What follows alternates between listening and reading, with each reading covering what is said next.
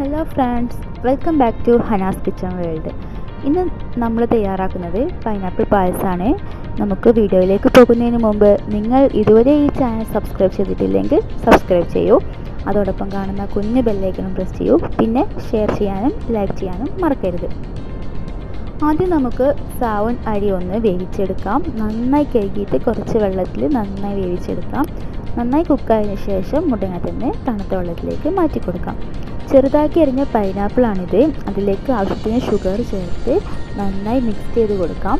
Medium to law ഫ്ലെയിമിലാണ് കുക്കാക്കേണ്ടത് sugar മെൽറ്റായി പൈനാപ്പിളിൽ നിന്ന് നന്നായി വെള്ളമൊക്കെ ഇറങ്ങിയിട്ടുണ്ട്. ഇനി വെള്ളം വറ്റുന്നവരെ നമുക്കിത് കുക്കാക്കാം ഇത് രണ്ട് ലിറ്റർ പാലെടുത്തിട്ടുണ്ട് പാൽ നന്നായി തിളച്ച് വന്നിട്ടുണ്ട്. നമുക്ക് ആവശ്യത്തിന് ഷുഗർ ചേർത്ത് കൊടുക്കാം.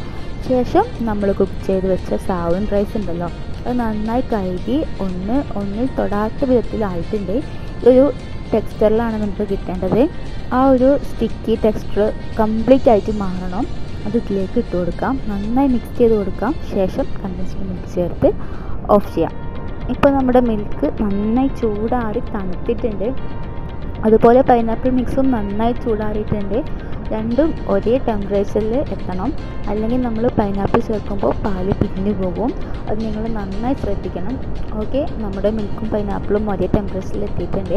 നമുക്ക് പൈനാപ്പിൾ മിക്സ് ചേർത്ത് കൊടുക്കാം. നന്നായി മിക്സ് ചെയ്തെടുക്കാം. ഓക്കെ നമ്മുടെ പൈനാപ്പിൾ പായസം റെഡി ആയിട്ടുണ്ട്. നിങ്ങൾക്കിത് ഇപ്പോൾ തന്നെ കഴിക്കാം. അല്ലെങ്കിൽ ഫ്രിഡ്ജിൽ വെച്ചൊന്ന് തണുത്തതിന് ശേഷം ഉപയോഗിക്കാം. രണ്ടായാലും സൂപ്പർ ടേസ്റ്റാണ് ഒരു വെറൈറ്റി ടേസ്റ്റാണ് നിങ്ങൾ മസ്റ്റായിട്ട് ട്രൈ ചെയ്ത് നോക്കുക നിങ്ങൾക്ക് എന്തായാലും ഇഷ്ടപ്പെടും.